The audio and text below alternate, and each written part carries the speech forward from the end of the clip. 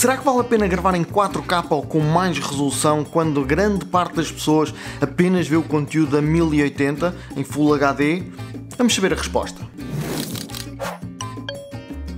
Olá, sejam bem-vindos aqui ao canal, meu nome é Gonçalo Estrelado, hoje então vamos falar sobre que resolução devem usar nos vossos vídeos. Não é que isto seja obrigatoriamente correto e porque muita gente apenas consome conteúdo em 1080, quer dizer que vocês devam gravar os vídeos em 1080. Sim, vocês podem exportar apenas em 1080, quando eu falo em 1080 são os 1920 por 1080 pixels, chamado o Full HD, mas pode ser que vocês queiram então fazer em 4K porque a vossa câmera permite, ou quem diz 4K diz 6K, ou a 8K, quem sabe. Qual é a principal vantagem de gravarem em maior qualidade? À partida, vocês estão a fazer conteúdo que vai permanecer no YouTube, a menos que vocês o queiram apagar. Quem diz no YouTube, diz em qualquer outra plataforma de vídeo, será conteúdo para permanecer. E se é para permanecer e se as coisas estão a crescer, já temos 4K e já temos 8K, quanto melhor a qualidade, mais longe os vossos vídeos irão. Portanto, as pessoas vão continuar a consumir o conteúdo, já quando tudo estiver normalizado em 4K, todos os telemóveis, televisões, tudo está tudo 4K, toda a gente vê 4K, vocês já criaram o vosso conteúdo em 4K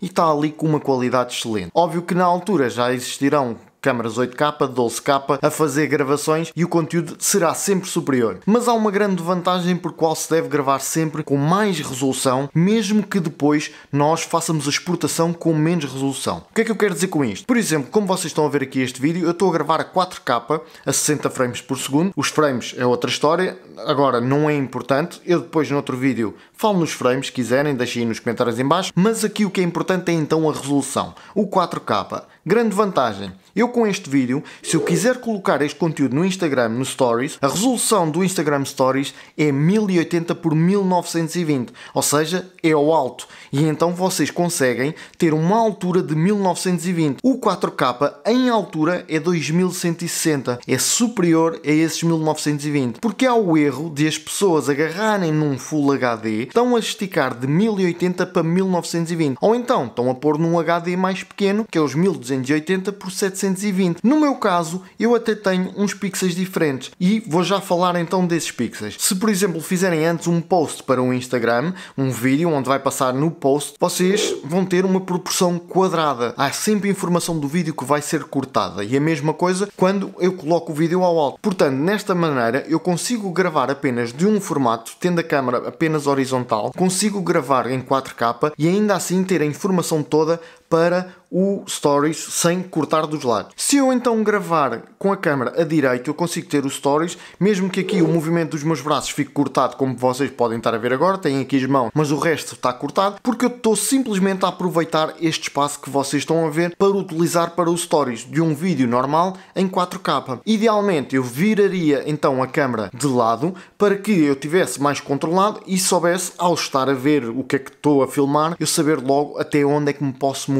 E isto vai em relação àquela coisa de vocês criarem conteúdo específico para cada plataforma. Ainda assim, vocês querem reaproveitar vídeos que fazem de uma plataforma para outra, não quer dizer que seja o conteúdo replicado, mas podem aproveitar só partes, partes de frases importantes, coisas que estão a dizer para depois, por exemplo, pôr no stories, então vocês conseguem aproveitar sem perder qualidade. O gravar em 4K vai ser extremamente vantajoso por causa disto, porque vocês conseguem então fazer o crop sem perder absolutamente qualidade nenhuma. Quanto mais qualidade, mais mais conseguem fazer isto. Outra coisa que também ajuda vocês gravarem sempre com qualidade superior é que nós podemos fazer um reenquadramento. Eu estou neste vídeo para o YouTube a fazer em 1920 por 960. E porquê que não é os 1080? Porque, como estão a ver agora aqui, eu tenho uma proporção mais comprida para se adaptar à dimensão dos telemóveis, porque os telemóveis têm uma proporção de 18 por 9, ou seja, grande parte deles são assim compridos e então o ecrã não é o 16 por 9, não é os 1920 por 1080 80. Daí, alguns youtubers que vocês veem como estão a ver aí o exemplo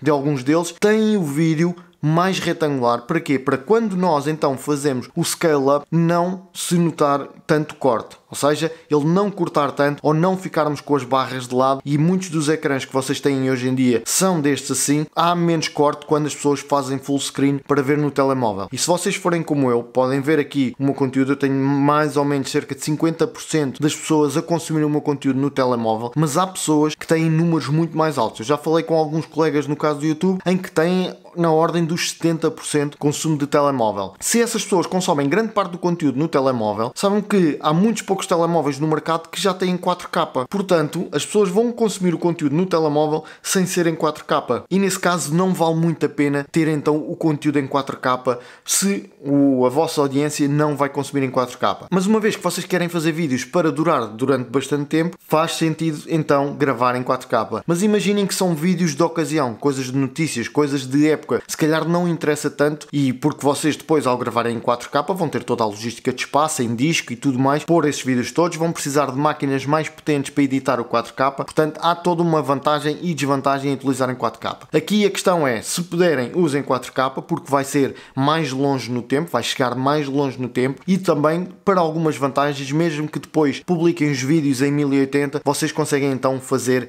estes crops sem perder qualidade nenhuma. Espero que este vídeo tenha sido elucidado elucidativo em relação às resoluções. Se tiverem mais alguma questão, deixem nos comentários, venham perguntar a sério, estou aqui para vos ajudar nesta criação de conteúdos. Para mais vídeos é aqui em cima, não se esqueçam de subscrever o canal, é aqui em baixo e vemos então no próximo vídeo.